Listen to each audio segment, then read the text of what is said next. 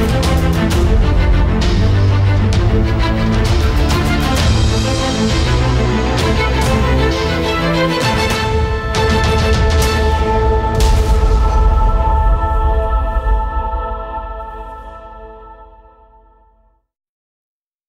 So starting with the second part of our segment for basic airbrushing, what we're going to do, we're going to do a nice sort of nice little exercise. Um, basically, um, you first off, you've got your um, you've got your new airbrush. Um, where do you start? I know in the instructions I'll go off and go, let's do just do some squiggly lines and figure of eights on a piece of paper, um, but really that doesn't sort of um, get you sort of learning anything really. I mean, you want to learn a little bit and sort of get used to using and getting the control of the airbrush. So what we're going to do I'm going to start off with some simple paint mixing. Um, now when it comes to thinners, I do have a tutorial on, on, the Genessis Models website of how to make your own homebrew thinners. Um, you can go off and buy all the different manufacturers of paints, as you can see behind me, with their specific thinners, um, but I have found that this little homebrew finish does work for pretty much, 9 times out of 10, most manufacturers out there. Um, so go check out that video, and what you want to do is let's just pour in a little bit of thinners, right? Only a little bit, we really don't need a lot for this job at all. We're just doing a nice little exercise. And I'm just gonna go off and I'm using um, Vallejo paint. Vallejo paint are a pretty good um, starter sort of paint range to get into. They've got sort of pretty good colour matches, but they're really nice and easy to use and quite forgiving paints. Right, you always want to give them a good, good, good shake. Right, so nice good shake and then um, I'm just I mean I'm using light sea blue just to sort of start off. Really colors don't matter at this stage at all.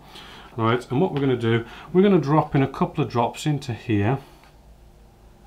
Right and what we're after is we're sort of guesstimating around about a 50-50 mix.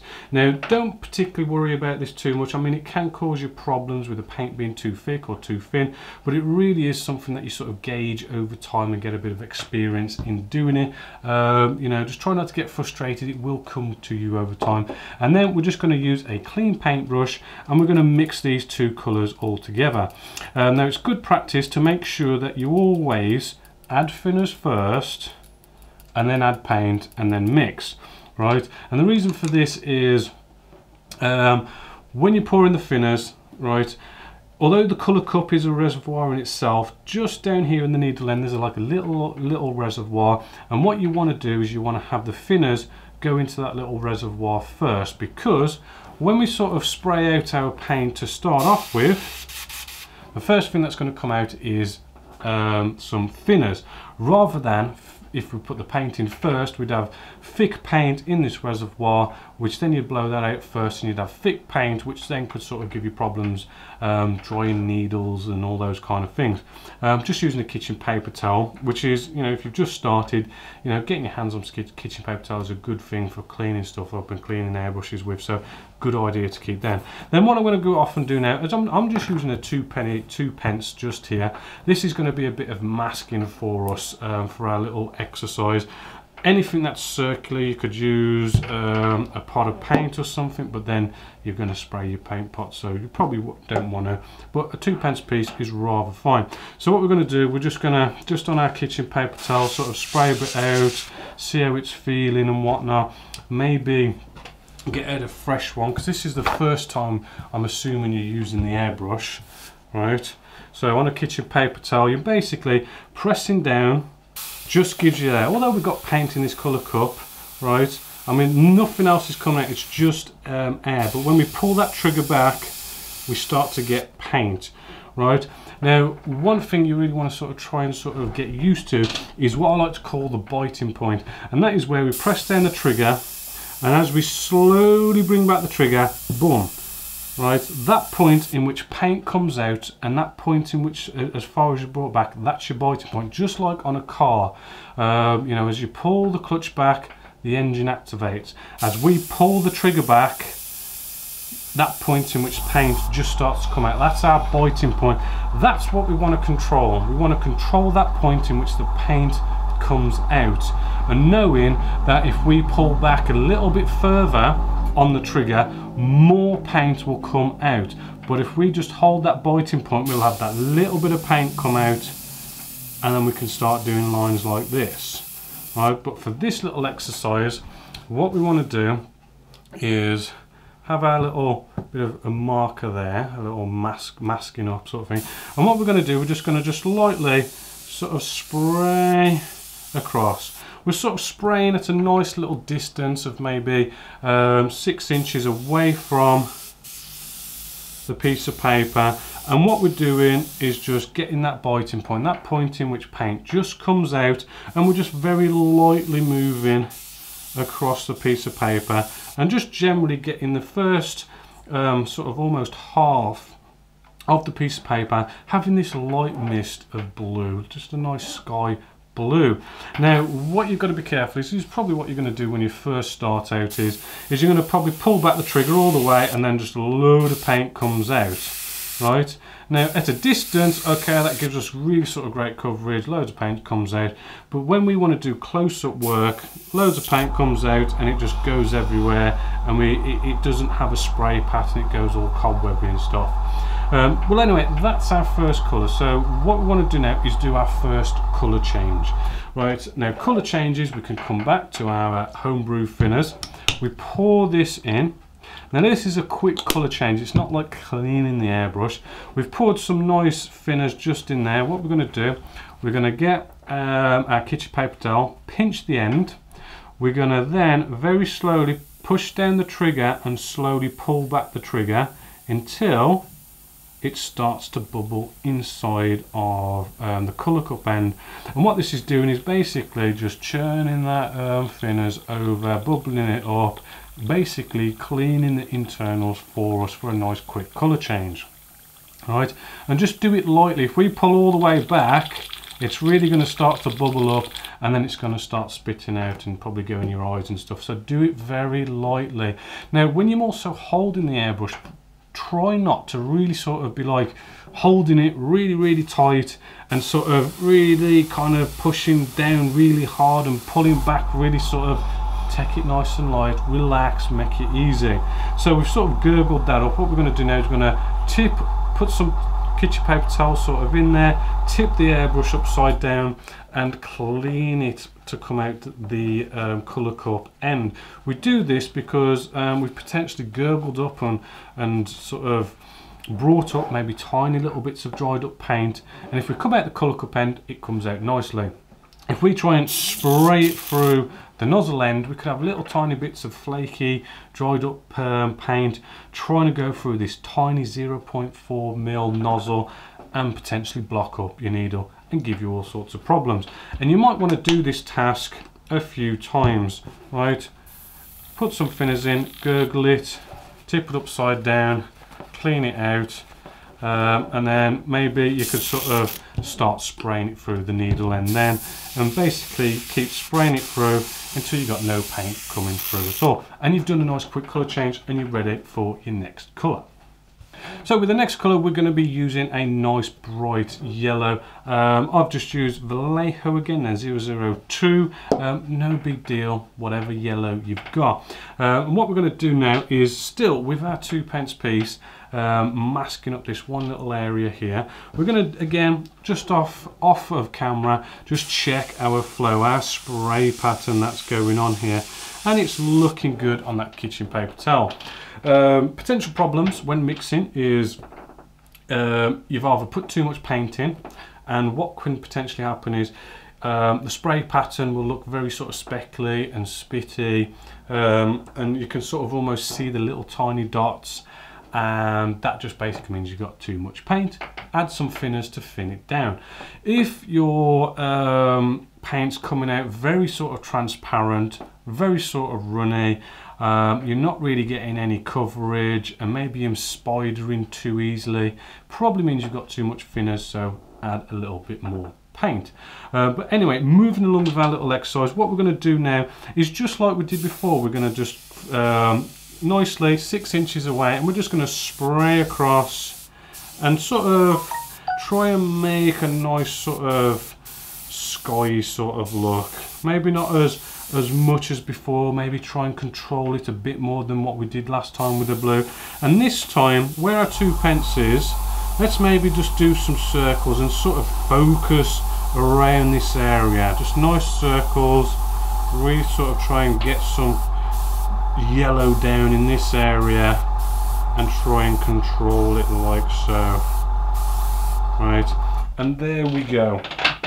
And then what we can do is we can now remove our two pence piece and we've got ourselves almost like a bit of a sun thing going on there. Again, this is just an exercise. We're not doing some perfect piece of art or anything. We're just getting used to using the airbrush. Right, so now that's done, what we need to do is, again, we need to do a nice quick colour change. So I've just done a quick colour change and I have added a 50-50 mix of some simple um, black by Vallejo again 057 or, or, some sort of a dark colour. No big deal, this is just an exercise. What we're going to do now is we're going to mess about with some masking. So let's get um, a plain um, piece of paper right, and we're just going to now just rip this We'll try and make it into sort of like some nice sort of patterns. We're sort of going for a bit of a mountainy thing here, so maybe try and get some peaks or something going on with it.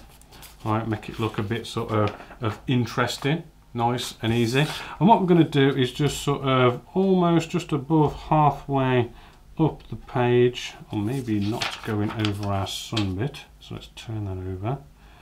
Yeah, that should probably do okay. Right, no, oh actually no, wrong side, sorry. We're not using that piece, we're going to be using um, this piece, right? And we're going to put this down almost sort of halfway. I mean, actually I will probably turn that around as well. Just get it until you're happy. And then what we're going to do is we're going to, again, take our airbrush. We're going to get our um, kitchen paper towel. We're just going to check our flow, make sure we're flowing nicely, right? And then what we're going to do is this time we're going to come in a little bit closer. You know, we've been about six inches away, which makes things easier.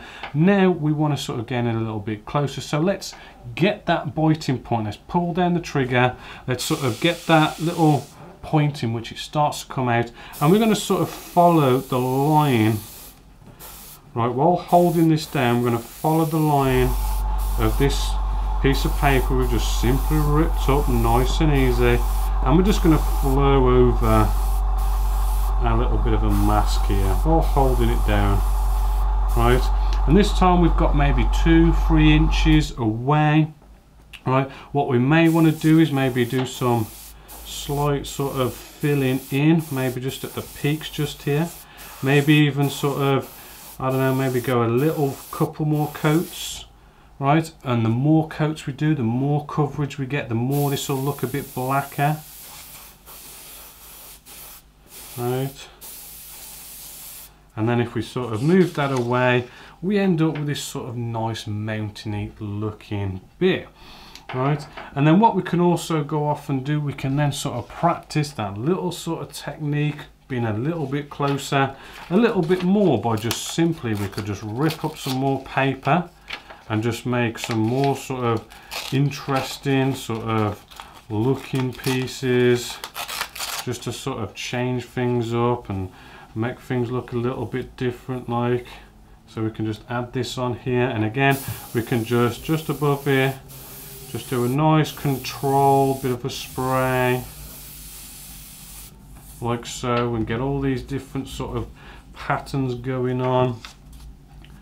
Right maybe just another one just here Right, and we're just playing around, messing around, um, trying to make a bit of a, a, sort of a natural looking picture as possible maybe.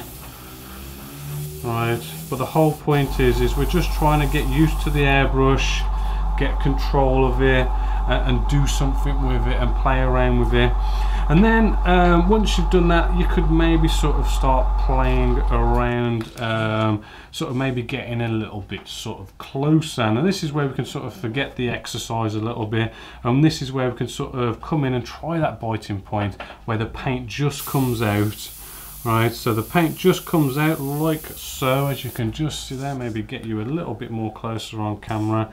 We've got that little point where the paint just comes out there's our biting point and maybe let's just start moving while just holding that biting point. I'm not moving my hand anywhere on the trigger, I'm just keeping it that and I'm just moving the paint, the airbrush around, right?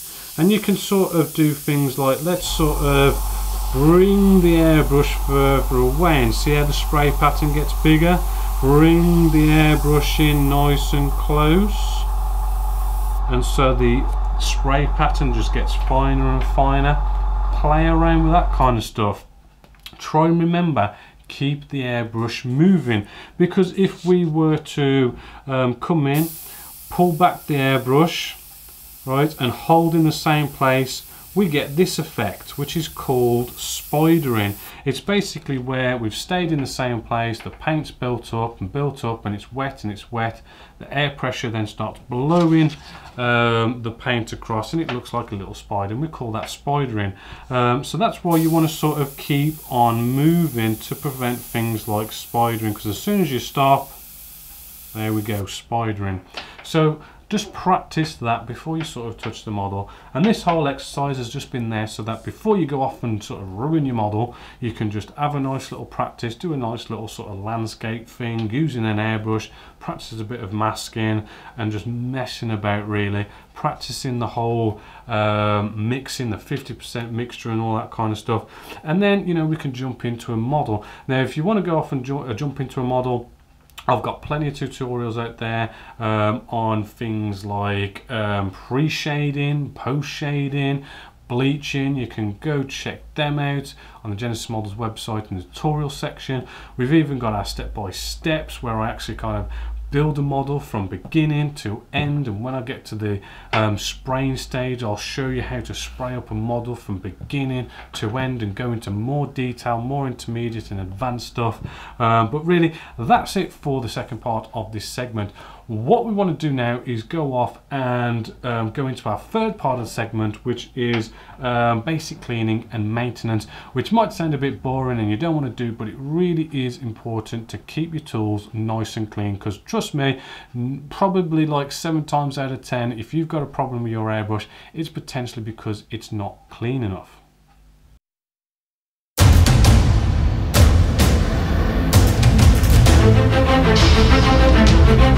Thank